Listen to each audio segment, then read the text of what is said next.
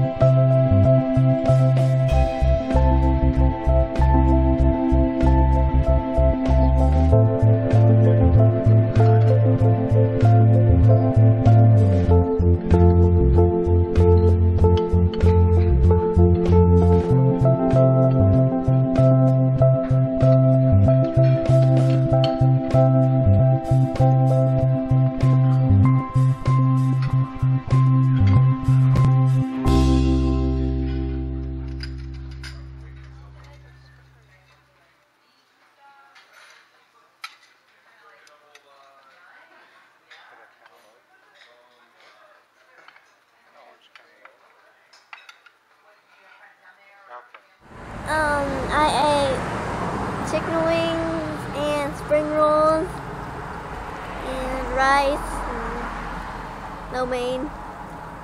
How about dessert?